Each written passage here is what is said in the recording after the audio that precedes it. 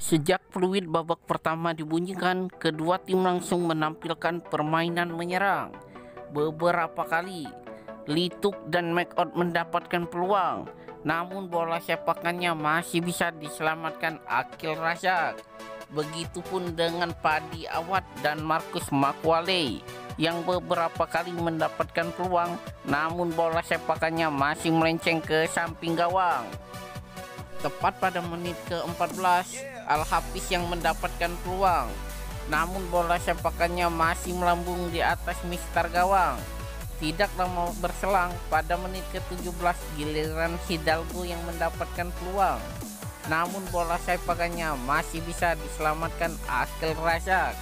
Pada menit ke-21, lagi-lagi Markus Makwale yang mendapatkan peluang namun bola sepakannya masih bisa diselamatkan Kalamuro. Kendati kedua tim bermain dengan menyerang, skor 0-0 pun tidak berubah sampai babak pertama berakhir. Pada babak kedua, di menit ke-54, Lituk mendapatkan peluang, namun bola sepakannya masih mengenai tiang gawang.